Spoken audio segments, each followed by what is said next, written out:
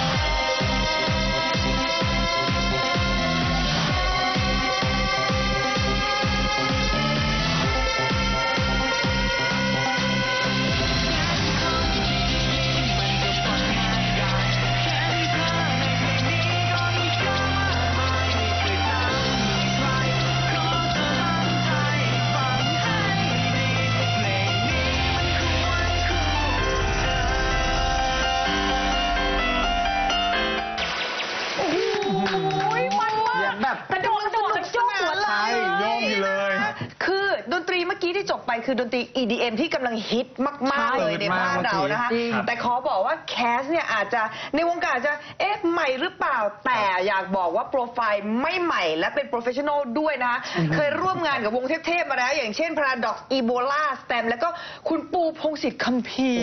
สุดยอดหลากหลายแนวแนจังวเลยเออแนวไม่ซ้ำเลยความใช่ครับเป็นมาเป็นไปของ KAZZ เนี่ยเริ่มขึ้นจากตรงไหนคะ คือจริงๆผมถ้าถ้าจริงๆแล้วเนี่ยจริงๆผมไม่ได้เป็นดีเจตั้งแต่แรกครับอืมผมเป็นนักดนตรีมาแต่แรก เล่นดนตรีอ๋อตั้งแต่เด็กครับตั้งแต่อายุ 16 แล้วก็เอ่อมี demo แล้วก็ส่ง demo ค่ะแล้วก็ไปอยู่ที่ออฟฟิศที่หนึ่งค่ะแล้วก็พอหลังจากนั้นก็ออกออกมาอยู่อีกที่หนึ่งก็คือที่ Warner Music Thailand อ๋อแต่ว่าแต่ว่าอันนี้คือยังเป็นเป็นเบื้องหลังเป็นเบื้องหลัง อันนั้นอันนั้นยังอันนั้นเป็นศิลปินแล้วครับ แต่ว่าอ๋อในฐานะค่ะมือกลองวง Storyline ค่ะ ใช่ครับเมื่อสักประมาณ 5-6 ปีที่แล้ว อ้าวแล้วการที่ไปแจมกับวงแต่เออต่างใช่ๆดัง ๆ อันนี้คืออะไรคะ ก็จริงๆ แล้วจุดเริ่มต้นของการเล่นดีเจอันนี้ขอค่ะขออนุญาตย้อนไปได้เลยค่ะก็คือ คือผมชอบดนตรีที่แบบเหมือนติด electronic music อย่างเช่นอืมเอ่อตึ๊ดตึ๊ดตึ๊ดตึ๊ด ใช่นิดนึงอย่างเช่นอย่างเช่น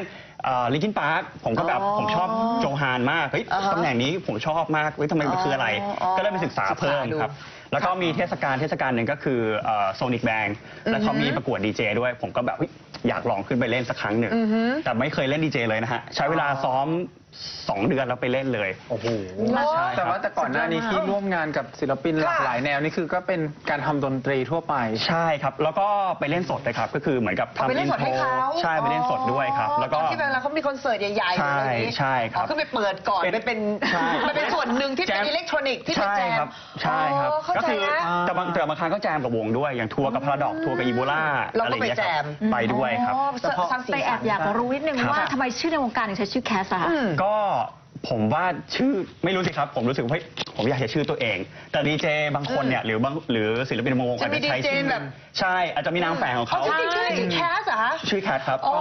ใช่ เข้าใจแล้วเราเป็นนึกว่านึเป็กนว่าตัวเป็นย่อฉายาเพราะส่วนมากดีเจจะมีฉายา ใช่อันนี้ชื่อจริงครับ ชื่อเล่นจริงๆเลย ชื่อเราเลย จริงๆใช่ครับใช่ครับอ่าใช่ แล้วเส้นทางของการเป็นดีเจอันนี้คือที่ฟังเมื่อกี้เสียงตัวเองปะเสียงผมเองครับ คือมันแล้วนี่เป็นคือมันเป็นซิงเกิลหรือมันใช่คืออะไรคือซิงเกิลคะ ใหมันมันเป็นซิงเกิลแรกที่อยู่ค่ะในภายใต้ Warner Music Thailand ในฐานะศิลปินเดี่ยวครับ อ๋อแต่ก่อนหน้านี้เคยอย่างที่บอกก็คือเอ่อเป็น Storyline มาก่อน ค่ะค่ะ ใช่ครับอ๋อแปลว่าตอนนี้การทำงานคือ under Warner ใช่ใช่ครับอ๋อเข้าใจเพลงที่แวพูดไปเมื่อกี้ก็คือคุณค่าที่เธอเธอคู่คู่ควรควรใช่ครับ คุ้นคุ้นเราเหมือนเราเราเราโอเค ทราบมาว่าเอ่อแต่ละวันครัฝึบกซ้อมหนักมากประมาณ6-7ชั่วโมงจริงป่ะคะ จริงครับ เพราะว่าอยากให้ทุกโชว์มันออกมาแบบละเอียดแล้วก็ดีที่สุดครับ คือเก็บทุกรายละเอียดคือบางครั้งเวลาผมขึ้นไปเล่นเนี่ยผมจะรู้สึกได้ว่าเฮ้ยวันนี้เรามีข้อผิดพลาดอะไร ผมก็แอบจดในใจว่าเอ้ย วันนี้เราผิดพลาดนี้นะเพราะมันการแสดงสดเนอะใช่มันมีอะไรเก็บมาบ้างซ้อมอืมให้เก็บมาซ้อมครับใช่คเอารับเอาข้อผิดพลาดตรงนี้เพื่อให้ครั้งต่อไปดีๆขึ้นใช่ครับ ไปซึ่งพอปล่อยเพลงนี้ค่ะ ออกมากระแสตอบรับเป็นไงบ้างฮะ ถือว่าดีมากครับ โอเคเลยครับ ก็คือออฮึมี feedback จากเอ่อวิทยุ แล้วก็ค่ะจากช่องทางอื่นค่ะ ๆ ถือว่าการตอบรับดีมากครับ เห็น MV แล้ว อยากรู้จังเลยว่าทำไมต้องให้นางเอกถือไม้เซลฟี่แล้วหมุนรอบ 360องศาคะ ก็จริงๆเป็นไอเดียผมเองครับ อ่าฮะคือทำเพลงเองแล้วแบบอยากค่ะ ถ่าย MV เองด้วยอ๋อออะไรอย่างเงี้ยครับแล้วก็จริงๆเป็นเป็นไอเดียเรื่องของ MV อีกอีกเยอะมากครับในดีเทลนั้น แต่ว่าค่ะที่เรารู้สึกได้ก็คือเหมือนแบบผู้หญิงคนเนี้ยแบบรอค่ะผู้ชายหรือแฟนเขาเนี่ยกลับมาอ่าฮะจากเมืองนอก แล้วก็อืมผู้ชายคนเนี้ยซื้อของขวัญวันครบรอบให้ ค่ะแล้วก็อยากรู้ว่าผู้หญิงคนเนี้ยจะไปถ่ายรูปอะไร สุดท้ายแล้วผู้หญิงคนเนี้ยก็คือไปถ่ายรูปสถานที่ที่เขาเนี่ยแหละสองคนเคยไปเคยครัไปบด้วยกัน ใช่ครับ แล้วก็ทุกสิ่งทุกอย่างเนี่ยครับก็คือแบบ ที่ผู้ชายพูดก็คือแบบว่าเอ้ยคุณค่าเนี้ยคุณค่าที่เธอคู่ควรเนี่ยมันเหมาะกับเธอแล้วอ่าอะไรอย่างเงี้ยครับโอความหมายแต่นางเอกจริงๆน่ารักมากนะใช่ใช่ครับเดี๋ยวแล้วแอบแล้วแอบไปโหลดนี้อะถ้าใครจะอยากดูเต็มๆอะใช่ทำยังไงต่อที่คะ channel ไหนได้ช่องทางบ้าง channel ไหนก็จริงๆก็ไปที่เดียวนะครับที่ facebook.com นะครับ slash Kass official นะครับ k s s แล้วก็ official เลย เจอเลยเจอเลยเจอทุกอย่างที่เกี่ยวเจกับอทุกอย่างแคสเลยครับทั้งหมดอ่าผลงานในอนาคตคะซิงเกิลต่อไป ก็ถ้าไม่มีผิดเพี้ยนก็ภายในไม่มีเพี้ยนด้วยนะโอเคเน้นเน้นว่าภายในเพี้ยนภายในปีนี้น่าจะมีอ่าอัลบั้มครับ แล้วก็โอ้อัลบั้มเลยนะแล้วก็โอเคมีโปรเจกต์ featuring กับอีกหลาย ๆ ศิลปินเลยในปีนี้ใช่โอเคอะฝากน่าติดตามคุณผู้ชมหน่อยค่ะว่าโปรเจกต์ในอนาคตแล้วก็ผลงานติดตามอะไรยังไงค่ะ ก็ผมฝากแคสไว้ในอ้อมอกอ้อมใจด้วยนะครับ แล้วก็ยังไงก็อย่างที่บอกนะครับติดตามได้ที่ Kass Official นะครับอืมเรามีอะไรที่สนุกมากๆนะครับในช่องทางนี้ แล้วก็ไว้เจอกันตามงานต่างๆ ขอบคุณครับ อ่าแน่นอนนะคะ ใครที่เป็นขาแดนซ์ใช่เป็นคอ ครับผม EDM เนี่ย ห้ามพลาดติดตามเขาด้วยนะคะ ครับ แคสจ๋าวันนี้ขอบคุณมากๆขอบคุณมากๆครับแล้วบอกว่าจะปิดรายการให้เราด้วยจริงเหรอใช่ผมมีโชว์เราตื่นอีกนิดนึงครับ เฮ้ยอะได้ซื้อต่อ เรารอเต้นเรารออะเต้นเลยดีกว่า เดี๋ยวเราเราไปแดนเซอร์เอ้ยจะใช่เลยไหมเนี่ย เอาเลยนะฮะ อะเอาเลยเขาจะค่ะ เสียสมาธิไหมาถ้าเกิดเราเต้นข้างหลัง นั่นน่ะสิ วันนี้ลาไปกับแคส